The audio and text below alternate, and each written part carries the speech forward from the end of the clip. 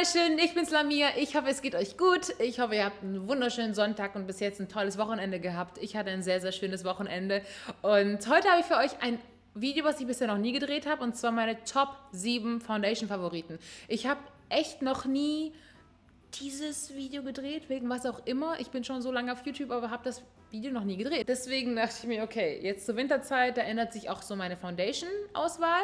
Und ich dachte mir, vielleicht kann das ein ganz guter Guide für euch sein. Vor allem, wenn man so eine Haut hat wie ich. Ich bin so eher so die trockenere Haut. Im Sommer ist meine Haut aber ein bisschen anders. Die ist da etwas fettiger in der T-Zone, jetzt zwar auch, aber im Winter merke ich einfach so einen gewaltigen Unterschied. Da wird meine Haut einfach so schnell trocken und dann bekomme ich diese Flecken, wenn ich die, nicht die richtige Foundation auftrage.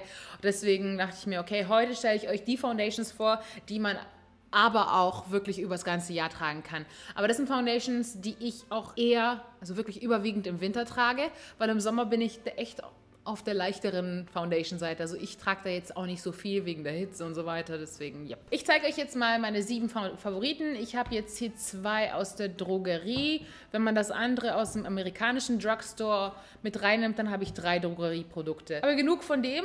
Ich komme jetzt zu meinen Top 7 Foundations. Zuallererst habe ich hier einmal die MAC Face and Body Foundation. Diese Foundation, Leute, ist die Foundation, die ich eigentlich immer im Sommer trage oder wenn meine Haut extrem trocken ist und ich keine Foundation tragen kann, weil sie einfach katastrophal aussieht, ist das meine Go-To-Foundation. Das ist eine Foundation auf Wasserbasis und vor allem für sehr trockene Hauttypen kann ich sie euch wirklich empfehlen. Wie man hören kann, ist die im Vergleich zu vielen anderen Foundations, wie zum Beispiel zu der hier, da passiert nichts, sehr, sehr flüssig. Und das Schöne an dieser Foundation ist, wenn man sie verblendet, dann bekommt sie eine ganz andere Textur. Sie wird immer cremiger und lässt sich viel, viel, viel besser verteilen. Also ich trage das jetzt mal hier auf meinem Handrücken auf und zeige euch mal, wie das vorher und nachher aussieht im Vergleich zu meiner anderen Hand. Auf dieser Seite, wie ihr sehen könnt, ist die Haut makellos. Ein ebenmäßiger Teint, also richtig, richtig schön. Und im Vergleich, wie ihr sehen könnt, die ist nicht super deckend, aber die Adern und die Haut sieht einfach auf dieser Seite viel makelloser aus und viel schöner und glowiger glowiger, wenn das Wort überhaupt existiert. Da ist auf jeden Fall mehr Glow und es hat diesen healthy Effekt. Meine nächste Foundation ist eine Foundation, die ich seit gut drei Monaten verwende und mich so verliebt habe in diese Foundation. Und vorher habe ich eigentlich gar nicht so Full Coverage getragen. Ich habe das jetzt einfach mal für Shootings und für Bilder verwendet und muss sagen, ich sehe einfach einen riesen Unterschied. Und zwar ist es die Milani Conceal Perfect 2-in-1 Foundation plus Concealer. Das ist meine Go-To Full Coverage Foundation geworden. Ich habe eine trockenere Haut und meine Haut sieht super glowy und trotzdem noch gesund aus, wie ihr sehen könnt. Also ich trage die Foundation jetzt auch schon seit vier Stunden und es hat sich nichts verwischt, nichts bewegt. Und das Schöne ist bei dieser Foundation, die ist zwar dicker von der Konsistenz her, aber sie fühlt sich sehr leicht auf der Haut an, ist auch eine Long Wear Foundation, das heißt, die ist auch ja, langanhaltend und das Gute ist, die ist wasserfest. Also wenn da mal der ein oder andere Regentropfen auf euer Gesicht fällt, passiert da jetzt nichts. Das ist so eine Medium to Full Coverage Foundation und man kann die auf jeden Fall aufbauen. Und meine absolute Empfehlung, wenn nicht sogar mein Lieblingsprodukt oder meine Lieblingsfoundation. Ich bestelle mir die Foundation immer auf Beauty Bay und die Lieferung ist super schnell. In Amerika ist ja Milani eine Drogeriemarke, deswegen zähle ich das jetzt mal zu den Drogerieprodukten.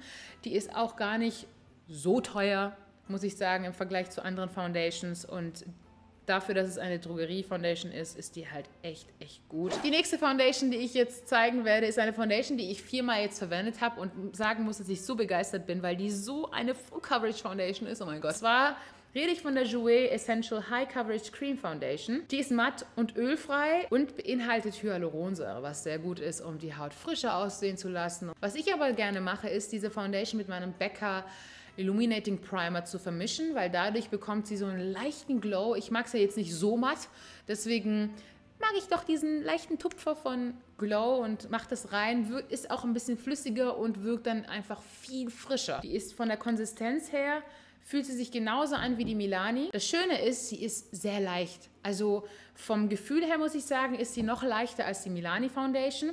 Deswegen hat man dann auch gar nicht das Gefühl, so zugeklatscht zu sein. Und davon habe ich auch vorhin gesprochen. Also alle Foundations, die ich euch zeige, die auch Full Coverage sind, Ich habe so einen Sprachfehler. Wir können ja auch mal einen Test machen. Ich habe hier, ein Tattoo. Jetzt gucken wir mal, ob die so deckend ist, dass sie auch ein Tattoo abdecken könnte. Ich habe jetzt echt ganz wenig drauf gemacht. Okay. Seht ihr das? Hier ist... Oh mein Gott. Seht ihr das? Da ist mein Tattoo. Sieht man mein Tattoo noch? Nein, man sieht es nicht mehr. Man, man kann so ein bisschen erahnen, dass da ein Tattoo drunter ist, aber man sieht nichts mehr. Deswegen, wenn ihr so Äderchen habt, die ihr abdecken möchtet, tolle Foundation. Die nächste Foundation, die ich wirklich schon seit Jahren so extrem feiere, ist die Fit Me Foundation von Maybelline. Das ist aber auch ehrlich gesagt die einzige Foundation aus der Drogerie, zu der ich immer wieder zurückgreife. Problem ist nicht, dass die anderen Foundations schlecht sind, sondern Farben, die Farbauswahl. Bei mir ist es einfach so ein Problem. Ich finde keine Foundations, die diesen olivfarbenen Unterton haben in der Drogerie. Und die 225 ist die einzige, also 220 und 225, die einzigen Foundations aus der Drogerie in Deutschland, die ich tragen kann und die auch zu meinem, zu meinem Hautton passen. Es ist einfach immer das Problem, bei allen anderen Marken auch, dass, sei es Essence, Catrice oder keine Ahnung, P2, alle günstigen Foundations passen einfach nicht zu meinem Hautton. Es liegt nicht daran, dass ich die Foundations schlecht finde, sondern es liegt einfach an der Farbe. Ich kann euch keine Foundation zeigen und sagen, die ist gut, wenn die Farbe einfach nicht sitzt. Und das ist für mich einfach ein Riesenfaktor.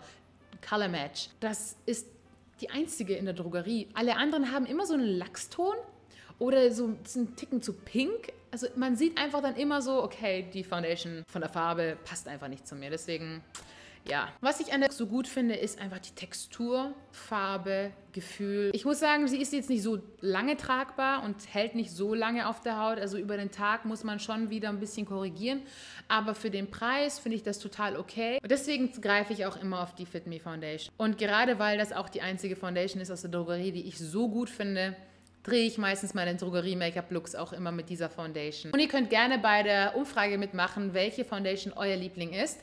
Und äh, ich bin gespannt, was dabei rauskommt. Die nächste Foundation, die ich euch zeige, ist die teure Version von dieser Foundation, weil diese Foundation ist ein Dupe von der Foundation, die ich euch jetzt zeige. Und zwar ist es die Luminous Silk Foundation von Armani.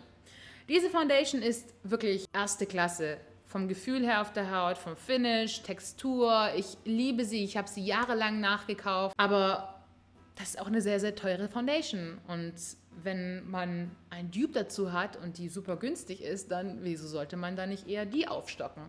Ich gönne mir ab und an mal natürlich auch die Giorgio Armani Luminous Silk Foundation. Wie ihr sehen könnt, habe ich sie mir ganz frisch wieder nachgekauft. Deswegen ist es ein ganz, ganz guter Tipp für diejenigen, die sagen, so ich möchte gar nicht so viel Geld ausgeben für eine Foundation. Kriegt ihr mit der Fit Me Foundation eigentlich dasselbe Finish wie die Luminous Silk Foundation. Ich muss sagen, der einzige Unterschied natürlich ist der Preis. Klar, die ist super teuer im Vergleich zu der Fit Me Foundation. Ich weiß gar nicht, dreifacher Preis, vierfacher Preis. Ich kann mich nicht mehr erinnern, wie viel die gekostet hat. Und das andere ist halt noch die ja, wie lange sie tragbar ist eben auf der Haut. Ich finde, bei der Fit Me Foundation merkt man schon nach ein paar Stunden, ja, hm, verschmiert es da und da hat man schon ein paar Fleckchen, wohingegen bei der jetzt das nicht der Fall ist. Aber ganz ehrlich, wenn man das korrigieren kann, spart ihr euch echt viel Geld damit. Und als kleiner Tipp am Rande, Dupe-Alarm für diejenigen, die auf Dupe stehen. Die nächste Foundation ist eine Foundation, die ich in meinem Alltag öfters getragen habe als in meinen Videos. Und zwar geht es um die Naked Skin One and Done Hybrid Complexion Perfector Foundation von Urban Decay. Das ist aber auch die einzige Foundation von all den Foundations, die ich euch gezeigt habe, die Lichtschutzfaktor beinhaltet. Ich bin ein Riesenfan davon, eine Foundation zu haben, die keinen Lichtschutzfaktor beinhaltet, weil wenn ich Lichtschutz, Lichtschutzfaktor, oh Gott, das Wort, Lichtschutzfaktor brauche, dann trage ich das mit einer Creme auf oder mit einem Primer und die Foundation soll einfach nur decken oder mein, mein Teint ebenmäßiger machen. Die Foundation ist so eine Foundation an diesen ultimativen Lazy Days von mir. Das sind meine Lazy Day Foundations, weil die einfach uh, so leicht sind. Ich trage die auch nur mit den Fingern auf. Das ist wie eine Hautcreme, wirklich. Also wenn ich sie auftrage, das ist erstens so wie eine Hautcreme. Das ist jetzt viel zu dunkel. Und die sorgt einfach nur dafür, dass die Haut ebenmäßig ist, dass der Teint einfach ausgeglichen wird. Bei der hat man jetzt auch nicht wirklich eine krasse Deckkraft, sondern es geht einfach eher um eure Haut, dass die Haut einfach ebenmäßig aussieht. Und das ist so eine Lazy Day Foundation, die ich einfach super finde und ja, top. Die letzte Foundation Bei der war es echt am Anfang schwer. Ich hatte sie ja in einem meiner Tutorials aufgetragen und zwar ist das die NYX Total Control Drop Foundation.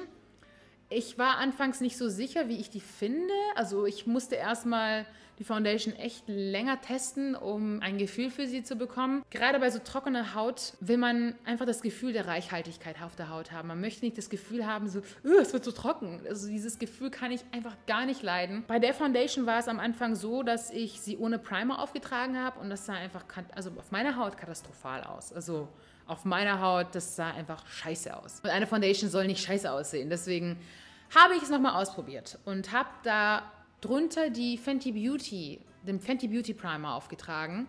Und als ich dann die Foundation aufgetragen habe, war das, waren das Welten. Für mich funktioniert diese Foundation nur mit Primer. Ohne Primer sieht meine Haut ganz schlimm aus. Die ist einfach von der Konsistenz her einfach super, finde ich. Es ist sehr flüssig. Das ist, das ist wie ein Serum.